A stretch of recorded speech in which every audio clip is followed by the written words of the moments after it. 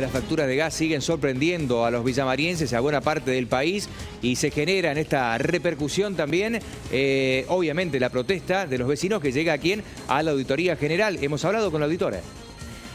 La situación es desesperante, porque los más complicados son los, los adultos y las adultas mayores, nuestros viejitos, vamos a decirlo en claro para que la gente entienda, las personas con discapacidad, y donde hay niños chicos. ¿Por qué? Donde hay niñitos y niñitas chicos.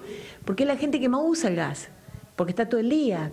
Siguen llegando lecturas estimativas, eh, eso cambió, no están llegando más, hay gente que todavía no le llegó la factura. Eh, muchas demoras en la factura, que ese es un tema muy grave, porque a vos te provoca mucha ansiedad, mucho demás.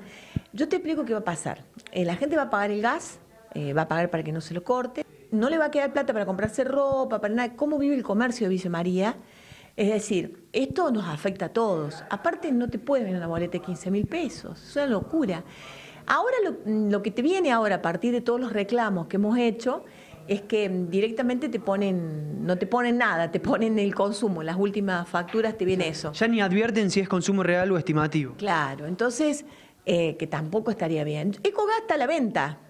Yo lo que, lo que temo es que todo esto sea una estrategia nos utilizan a la gente para todas estas cuestiones y hay como un retiro del Estado. El Estado no está, no está realmente supervisando lo que tiene y controlando lo que tiene que controlar. Hay mucha gente que corta el gas, la gente que más lo necesita, más vulnerable, y pone la garrafa.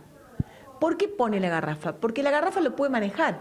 Gasta tanto y no gasta más que eso y listo.